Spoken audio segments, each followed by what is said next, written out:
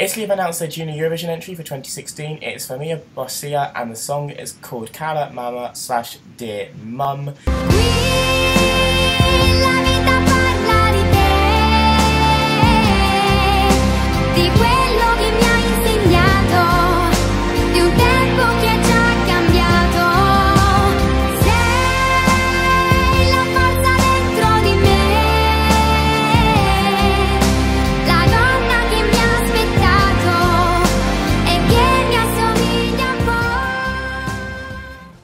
Bilingual with Italian and English, and the singer and song song was announced at the same time.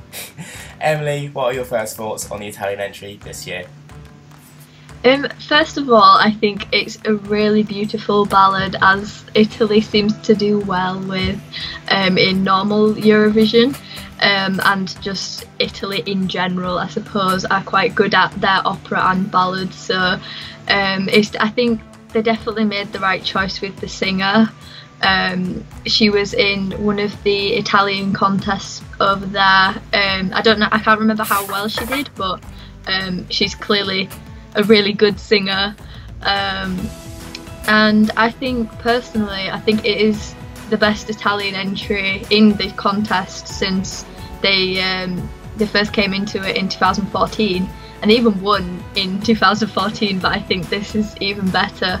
Um, just because it, it's so nice. It's nice that she's singing about her mum. Um, it's so, the song itself is so well produced and I think just the Italian language just sounds really nice as a ballad anyway. So yeah first impressions. I just really like the song. Well, this is becoming a running trend with us two in Italy because I I disagree. I mean, the message is sweet. She can sing, absolutely fine. The melody, that's where you lose me.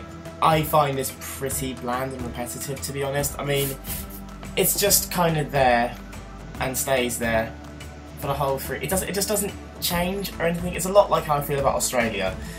I'm waiting for something to happen. I'm expecting something to happen. The song ends, and I'm just left feeling a bit meh, for lack of better words. And a lot like Francesca's entry into Stockholm this year, I don't feel the English is necessary. I, I just don't know why Italy think they need to do dual language songs at the minute because they just don't seem to work for them, in my opinion. But yeah, at the minute, a, a little let down. I mean, you know, it, it's sweet, it's precious, it's a precious song, but it, it's not for me at all, I'm afraid. so, sorry, Emily. As you have just stated, Italy normally do well with ballady sort of songs like this. Do you think this is going to do them well in Malta because it's a complete jury vote, or do you think it might not?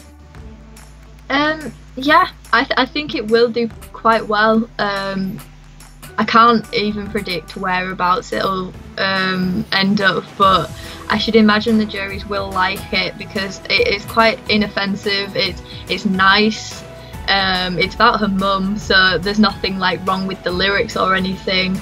Um, and going back to what you said about the English part, personally, I, I quite enjoy it because obviously I didn't know what the song was really about before until um, you hear the English part and it, gets um, like more powerful. And I don't know, I, I, I got goosebumps by the end of the song, so there we go. But Yeah, middle of the road finish for me, to be honest. You know, it's like I said, it's inoffensive, it's fine, but it just doesn't stand out. And but yeah, the juries are probably gonna like it. I, I it's probably going to get an equal reception from both sets of juries because you know the kids will think, oh, it's sweet, it's about their parents making about their mums and whatnot, and then the adult, I, I don't know, like I just see this as completely middle of the road, 9th through twelfth placing for Italy to be honest this year. I don't think it's going to win. Uh, I just and yeah, I just think it's just such a strong year this year so far that I don't see it winning or challenging. I just I just don't know how to feel about the song. And to round it out, what is your score out of 10 for Cara Mamma? Um, I'm gonna give it an 8 out of 10. Um, just because it, it's nice. Um, not my favourite, but also not the worst either. Um, yeah, I, I think it's probably in my top five right now. So yeah, eight out of ten. Well, mine has to be a six because yeah, it's fine. It's inoffensive, but I'm not going to remember it after the contest or after the after the after the performance.